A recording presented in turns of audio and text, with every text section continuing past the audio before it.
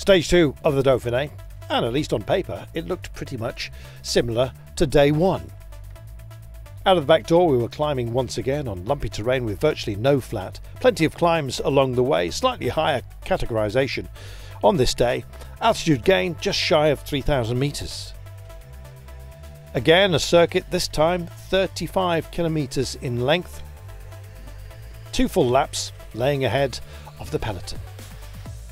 Well, would it be too much for the sprinters? Everyone's been speaking about Tuesday and stage three being their kind of day, but Fast Men had some ambitions on this one as well.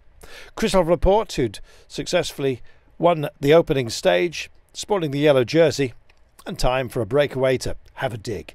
But they were never allowed too much rope, I'm afraid, out there. Kenny Elissonde was only 45 seconds down at the start of the day. Donavan Grondin decided to get more mountains points. Julie took the first Category 3 tests, two of them along the way. He says in the polka dot jersey, but just about crawled home after suffering cramp on the day. Our breakaway were indeed extraordinarily brave. Once it finally fractured, Victor Campenaerts and Kenny Elissonde were the last duo remaining. The gap narrowed occasionally and then stretched out to around about the half minute mark, but ultimately they were to be caught. The circuit, well, preview of the climb did not diminish the ambitions of a few, and they were striking out. Austrian Tobias Bayer decided to go for it for Alpecin-Deceuninck. He pushed on, but really just over the peak there was yet more climbing to come on the rolling terrain that characterised this day. Even 5% around about the Flamme Rouge was going to put paid to the ambitions, surely, of plenty of the fast men. Well, they were up there. Sam Bennett certainly was in a position Groenewegen had been found out, I'm afraid, on the final climb.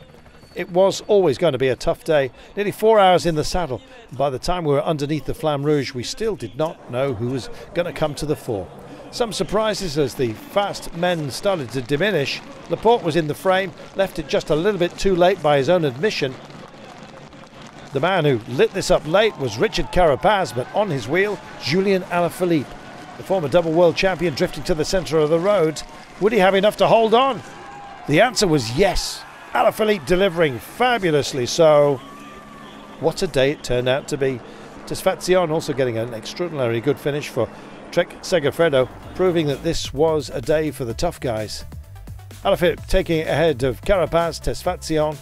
Laporte finishing fourth, stays in the yellow jersey. Van Gils, Stannard, Fred Wright was in there, Onley likewise. It's a tough man's game, cycling, and you always have to take the bruises that come along with it. Alaphilippe has had more than enough of his fair share of disappointments. Well, physically, he seems absolutely back to his best. He came into this race looking for a stage win, and now on stage two, he has got it. He shares the time with the leader Laporte. Calm down, everyone. I am back. Where did he finish? Absolutely. Number one. Brilliant. Alaphilippe. Well, there could be other stages that suit him very, very well during this Dauphiné. Let's see how he copes with the time trial and indeed beyond. Laporte leads the race same time as Alaphilippe, leading on Countback Laporte, courtesy of the finishing positions he has had. Tomorrow, our destination is Coteau and the longest stage of this Dauphiné. The third stage, 194 kilometres in total. This was the day that was badged up to be one for the sprinters, and when you look at the parcours, you of believe it.